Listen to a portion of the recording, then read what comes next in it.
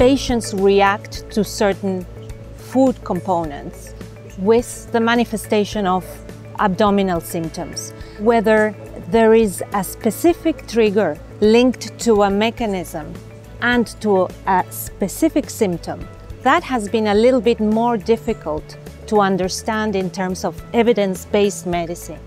Is what we call food intolerances, is when a patient doesn't have the capacity, for example, to metabolize a certain given food component, like lactose, or large carbohydrates that are called FODMAPs. And other patients have true sensitivities, and this implies an immune reaction to a food component, and the typical example is celiac disease.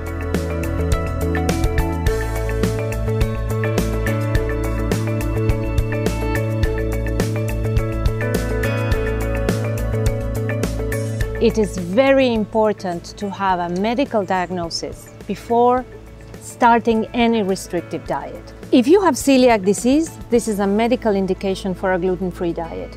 If you are not celiac, and we have ways of ruling out celiac disease with a blood test or with a biopsy or a combination of the two, then it is not that clear that a gluten-free diet is going to be the healthiest option for you any restriction diet is going to have a downside because you are withdrawing important components of the diet that are important for your gut health and for your gut microbiota. When you do a gluten free diet, you are withdrawing fiber, fermentable foods that are important for your gut health. So, if you don't complement this diet properly, you may have impacts in your bowel movements. For example, you could get constipated, or you could change the nature of your gut microbiome balance. And this starts to appear in some recent papers where groups of bacteria, for example, associated with gut health, such as bifidobacteria, are re reduced by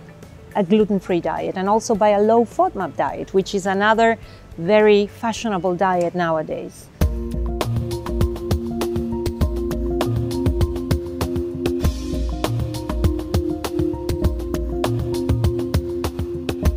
Your microbiota is specific to yourself. When we talk about modulation of our microbiome, we have to think about the future.